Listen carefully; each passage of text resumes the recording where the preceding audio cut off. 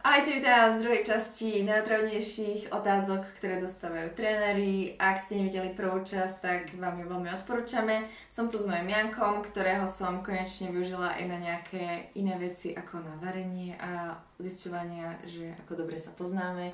Ale tým, že si dlhé roky tréner, že si študoval telovýchovu, tak som si povedala, že ideme sa pýtať Janka také tie najčastejšie otázky, ktoré tréneri dostávajú. V prvom dieli sme odpovedali na 5 a teraz sme sa mm, dohodli, že tomu dáme taký trošku voľnejší priebeh, voľnejšie tempo, že možno ich nebude až 5, ale že to proste rozoberieš tak, ako si myslíš, že si to daná téma vyžaduje.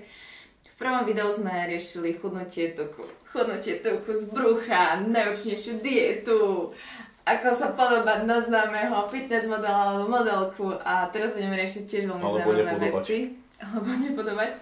A ak vás to video zaujíma, tak pozerajte určite ďalej. Hm, to bola pekná fistulka.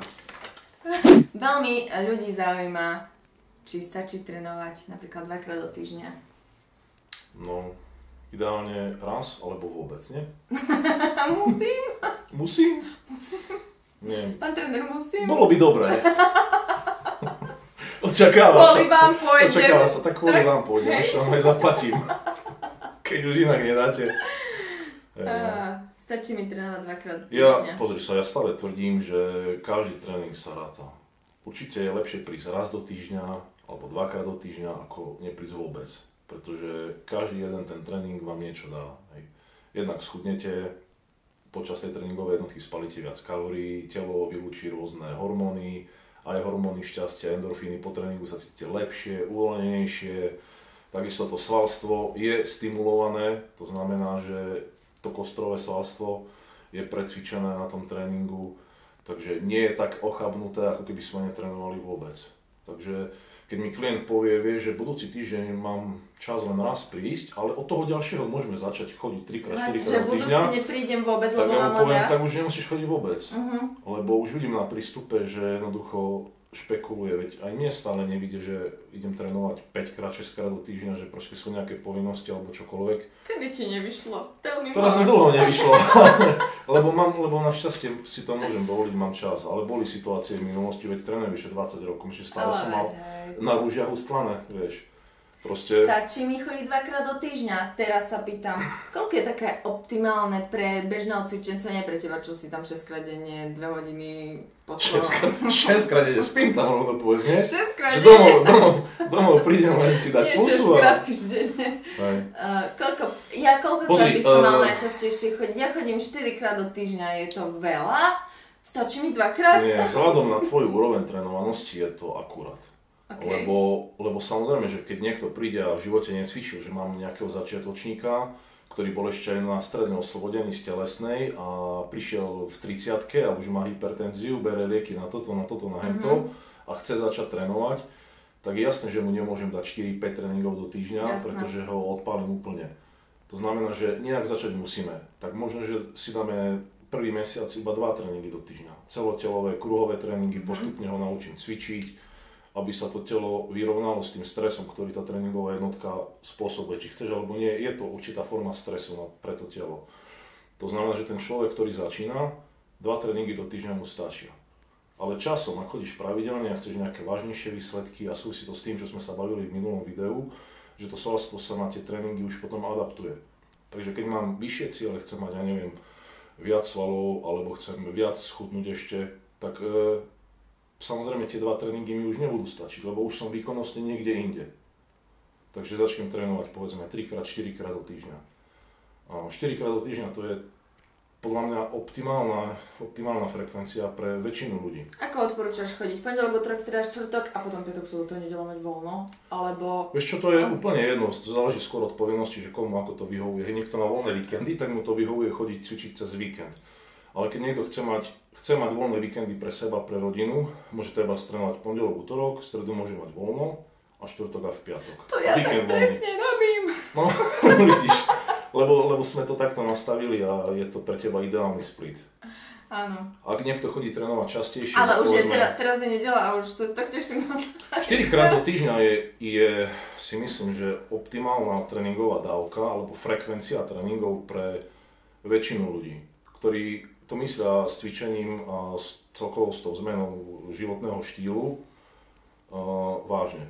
A Ak keď... už niekto trénuje častejšie, 5-6 krát do týždňa povedzme, tak je to už veľký stres pre to telo na tú regeneráciu. To znamená, že už musíš mať tomu prispôsobené aj podmienky. Musíš mať e, kvalitnú stravu, musíš mať dobrú regeneráciu. Už potom treba myslieť aj na ďalšie Treba veci. už myslieť na to, že áno, že pre väčšinu bežných ľudí, ktorí, ktorí chodia do práce, majú rodiny a chcú výsledky, tak 4 tréningy do týždňa sú optimálne na to, aby to dokázali e, zregenerovať a fungovať v bežnom živote normálne. Ano. Lebo keby chodili 6 krát do týždňa makať ako blázni, a k tomu majú ešte povinnosti, rodinu, prácu, neviem čo všetko, tak jednoducho by sa skôr či neskôr, dá sa povedať, že odpálili kvázi. Už to nie je radosť a ten zdravý Už to nie je radosť štýl, a v končnom dôsledku by to telo tak preťažovali, že môžu neskôr mať ako keby zniženú imunitu a väčšie, väčšiu náchylnosť potom aj na rôzne choroby. Vieš, príde obdobie, keď sú chrípky, to telo je preťažené, nestíhaš to regenerovať, je oslabené tak čo a ešte na teba elektrické takto zakašle. No zakašle a, a hneď máš vírus a miesto 6 tréningov do týždňa budeš mať 0 tréningov, lebo budeš chorý doma. A už to Takže nie, niekedy, niekedy je menej viac aj v tomto prípade. Dobre, 4 si povedal. Čo? Mám tam prísť a byť na bicykli raz, potom druhýkrát, tretíkrát, alebo mám stále cvičiť kruháč, alebo si to mám nejako rozdeliť, to alebo už si prešla na, na tak komplikované otázky. Hej, dobre, tak ideme Ale nie, na ja ti poviem, ja ti poviem prečo, lebo, lebo vieš, ja viem. Lebo to, je, lebo to všetko závisí od, od cieľa, od možnosti, aké mm-hmm. máme, vieš. Čiže keď... Tomu prispôsobíš tréning. Keď mm-hmm. ty primárne chceš hlavne, hlavne schudnúť, tak nebudeš 4 krát do týždňa ja? činky. Ja, nie. nie. Samozrejme, že ty si vyšupovaná modelka, ale ty nemusíš vôbec cvičiť. Oh! Stačí... No. Čiže keď sa niekto schudnúť, tak nebude 4 krát do týždňa robiť spieracké cviky, kde proste Jasné. ide mu o rozvoj sily. To sa môžeme to baviť znamená, že potom, bude trénovať tak, aby schudol. Hej. Potom sa, to sa môžeme baviť potom, ak ľudia povedia, že chcú s tebou tie, uh, čo som to povedala? tie, čo sa budeme baviť. No, podcasty. Podcasty, že keby okay. chceli, tak presne toto budeme rozoberať s tebou. Ja ako moderátorka. to stalo, lebo... Poďme na ďalšiu otázku. No ale dajte vedieť, ak by ste to chceli. Kto, nie, toto, toto, kedy už budem vidieť výsledky? Teraz sme niekoho presvedčili, aby Ty už vidíš.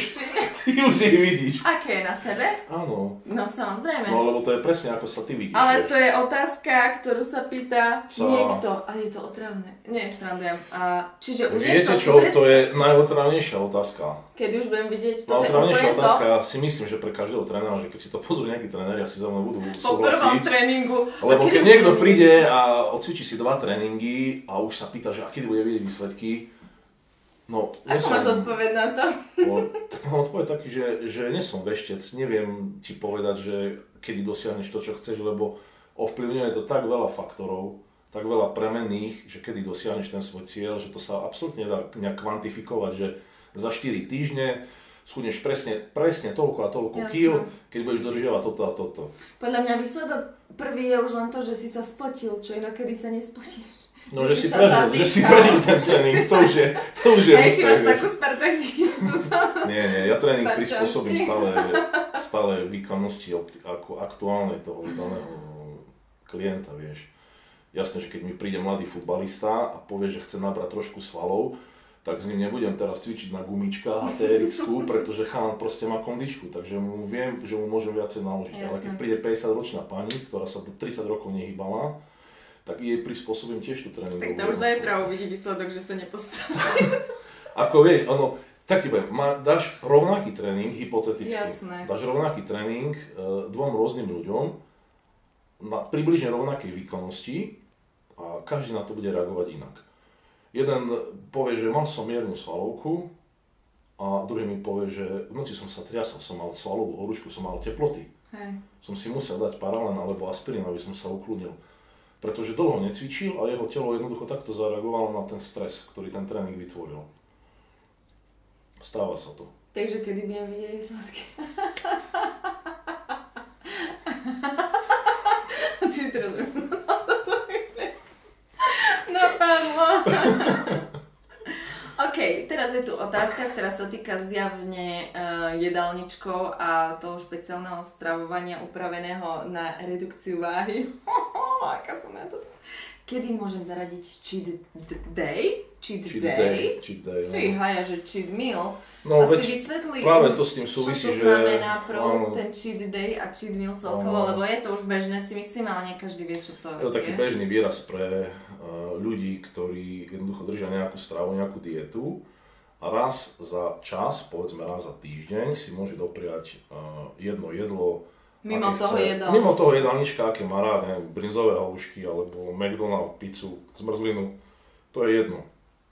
Ale niektorí ľudia si to pomýlili s cheat dayom. To znamená, že vlastne... Alebo, alebo to robia na schvál, že do 6 dní... Čo? Som sa alebo že cheat... Čo som povedala? Cheat week si povedala. Dobre. Že žereš celý týždeň. cheat weekend. Ja, ne. No hovorím, že pomýlili si. Prepač, pokračuj ďalej, som to chcela len nejako... Odľahčiť. E, vieš, ja som tu moderátorka. Bolo to, bolo to Som tu dosť bolo to zbytočná. Nie, tvoja úloha je nezastupiteľná, veď kto by načítal otázku? Sám si prečítam, sám Čiže si niektorí ľudia si to jedno jedlo uh, vymenia za celý deň Áno, celý deň proste žerú, no ale výsledok je ten, že po takom pažravom dni je v podstate aj tá traviačka, aj metabolizmus, všetko je to zapečené, je tým ľuďom ťažko a miesto toho, aby si ten metabolizmus nakopli, čo je cieľom toho cheat mealu, Áno. tak si ho zapečú a je to o to pomalšie všetko, lebo mi trvá 2-3 dní, kým si dám dokopy traviačku a už je streda keď som, dajme tomu, mal či... či a už len štvrtok a piatok a zase. A už len štvrtok a piatok a už zase žerem, vieš, to znamená, že sú úplne v blúdnom kruhu a nikam sa neposunú. Ale asi najpravdejšie ten, ten cheat day, ten cheat day súvisí, je, je tu hlavne preto, aby ak človek drží nejakú nízkokalorickú dietu, to znamená, že v kalorickom deficite, aby si po tomto nejakom, po nejakej dobe, kedy už aj reálne vidím nejaké výsledky, nie že som ešte neschudol ani deko, a už proste mám, že či no, to už neviem. No to je asi že niekomu dáš, nech sa páči tie jedálničky. A kedy prosím vás môžu tie halušky? No. Áno, takže až keď vlastne sa ten metabolizmus trošku rozbehne a vidím, že som schudla nejaké to kilko, dva, tak si môžem dopriať jedno nejaké nezdravé jedlo, pretože to je veľmi nič, jedno. nič, áno, ale nič tým nepokazím. Jedna ti to pomôže psychicky, Mm-hmm. Že si dala to, čo si si odopierala, čo si mala chuť, že je stále to, to isté, že ti z toho proste prepne, že ti, že ti šibne, lebo si jednoducho nič nemôžeš dať. Čiže z psychického hľadiska je to super a tiež v podstate z toho hľadiska toho nakopnutia toho metabolizmu. Pretože keď jem nízkokalorické, dajme tomu jedlo, že si dám rybu so zeleninou, dám si koticír s nejakým knakebrotom, dám si potom neskôr nejaký banán a proste jem ľahko stráviteľné jedla, tak sa môže stať časom, že sa ten metabolizmus akoby možno, možno spomalí, hej, alebo jednoducho sa to dostane do takého stereotypu, že už, už nechudnem tak, ako mm-hmm, by som mhm, chcela. Tak efektívne Čiže možno. vtedy paradoxne je dobré si dopriať takéto vysoko, vysokokalorické jedno jedlo, ktoré to znova ako keby naštartuje a nakopne. To je zmyslom toho cheat Čiže ty odporúčaš, jednak sa to nepýtať, ale e, nedávať si ho druhý deň po kvázi diete, Nie. ale až keď už to Kež telo ľudia... si začína navykať no. na tú stravu. Ľudia sú leniví alebo málo odhodlaní držať nejaké stravovacie... Nie sme majstri sveta. Nejaké Áno, ale tak tiež sa tam nejakým spôsobom musíš dostať. Tiež som si len musel, ale... vieš, odopierať, odriekať. Samozrejme. A tiež som mal chuť na kadečo, ale jednoducho si povedal, že nie, že mám nejaký cieľ, chcem to dosiahnuť a doprajem si, až keď si to zaslúžim. To znamená, že ty keď začneš držať nejakú stravu a vidíš výsledky, tak si to zaslúžiš. Áno, my ostatní si to zaslúžime proste stále. A potom príde, že no prečo nechudnem? Veď ja som si zaslúžila. som, si, som si zaslúžila. Ja som myslela na posilu. Včera som držala dietu, včera som držala dietu, ale dneska som si už A za to, že som ju celý deň dodržala, mm-hmm. som si, ne, si večer dala, som si večer dala koláč. No, tak, to no. Tak hej, presne no. tak. Ja, ja som tá väčšina tých lenivcov. Častokrát je to tak, láska moja. Mal si povedať, že nie. Lebo už som ťa prichytil papa čokoládku večer. A prichytiť, čak si zaslúžim, nie? Dobre, ešte, ešte jednu otázku by sme mohli dať, ak súhlasíš. Čo mi nastáva? Ktoré cviky sú najúčinnejšie na chudnutie, by som to ukončila touto otázkou? Uh, No všetky. To je v podstate to, čo bola úplne prvá otázka v prvom videu, že akákoľvek pohybová aktivita vám pomôže spalovať kalórie. Neexistuje jeden cvik, ktorý je, ako budete cvičiť, tak schudnete viac ako ostatné. Jasné, že sú cviky, ktoré sú uh, náročnejšie, sú to viac klbové cviky, to znamená, že sa zapája viac svalových partí, viac klbov, ako sú drepy, mŕtve ťahy, um, rôzne tlaky a tak ďalej. Pracuje tam celé telo, to znamená, že je ten cvik efektívnejší a je náročnejší na energetické krytie. Spáliš mm-hmm, viac mm-hmm, kalórií, mm-hmm. ako keď to, to robíš, ja neviem, bicepsový zvyk s činkami. Hej. Keď robíš nejaký drep, tak zapájaš do toho oveľa viac svalov, preto ten cvik je viac klbový. Takže tie cviky sa považujú ako keby za, za efektívnejšie na celkovú stimuláciu aj toho, toho chudnutia a tak. Ale uh, Jeden taký častá otázka nie. klientov a ľudí, aj keď mi píšu na internete, na Instagram a tak ďalej, je, že aký je najúčinnejší cvik na toto alebo na schudnutie. Že alebo... na konkrétnu partiu, hej? No nie tak, je taký ale... cvik. Jednoducho nie je taký cvik. Je to individuálne a niekomu niektoré cviky sadnú viac, inému menej, ale jednoducho je to skôr súbor alebo súhrn cvičení, ako si predtým odpovedal, že keď zrazu máš rutinu aj v cvičení, aj v strave, tak už to potom nie je účinné. Ty nemôžeš cvičiť stále asi jeden cvik, presne ten, jeden Myslím. najúčinnejší a myslieť si, že vieš... budeš. Áno, ale aj keby existoval nejaký jeden zázračný cvik, tak si predstav, že by si stále robila jeden cvik, že by si stále robila len drepy tak čo ostatné svaly, ktoré sa nezapájajú do toho pohybu? No ten je najúčinnejší, že, že, na to. že keď sa nad tým trošku zamyslíš, Jasné. tak zistíš, že si v podstate dokážeš vytvoriť rôzne disbalancie svalové. Lebo ja niektoré myslím. svaly cvičíš, Áno. lebo sa pri danom cviku zapájajú, ale svaly napríklad necvičíš vôbec. Ale vieš o tom, že presne, teda ty to vieš, ale ja ešte to ako potvrdzujem, že toto všetko sa pýtajú ľudia, ktorí chcú za čím menej uh, roboty, roboty mať no. čím najviac výsledkov a myslia si, že sú také tie zázračné mm. formulky, nie formulky, ale jedlá, cviky, presne tie špeciálne. Nie, ty vieš, Škoda, že... to tak není. není. Ty vieš, že, že to sa nedá nejako obalamutiť. O, ja viem, obísť. ja len som moderátorka šarmantná. Diri donda. Diri, diri, diri. Diri, din, donda. Pozeral som to, pozeral, som to s rodičmi, hej no. Mm-hmm. Takže neoklameš to. Proste kombinácia pravidelného tréningu, úpravy životospravy, strav, stravovania, alebo nechcem použiť slovo dieta, ale racionálneho stravovania a celkovo tej životospravy vedie k dlhodobým výsledkom, vieš. Myslím Asi si, tak že by som to ukončil. by sme to tak mohli ukončiť. Ďakujeme, že ste si pozreli aj túto časť. Ak ste nevedeli tú prvú, tak môžete si pozrieť prvú. Ešte máme tu nejaké otázky, tak natočíme aj tretiu, ale ak by vás zaujímali takéto podobné ďalšie videjka s Jankom, budem veľmi rada, asi aj on, ak nám to napíšete do komentáru a ak by ste mali záujem o tie podcasty, mňa to veľmi zaujíma sa takto s ním rozprávať a možno by aj vás zaujímalo, Ježiš, ja som to To má celá pohľadka, som dostal čapaš. Želáme vám pekný deň, ďakujeme, že ste si pozreli toto video a vidíme sa na budúce. A majte pekný deň. Čaute. Ukáž biceps. Biceps ukáž. To ktoré? to bol